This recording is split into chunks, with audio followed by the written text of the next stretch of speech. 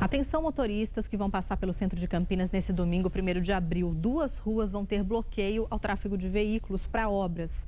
Nos dois casos, a interdição ocorre no período da manhã. O primeiro trecho é na Rua Duque de Caxias, entre a Barão de Jaguar e a Avenida Francisco Glicério, bem do lado do Largo do Pará. A interdição vai ser das 8 da manhã até o meio-dia.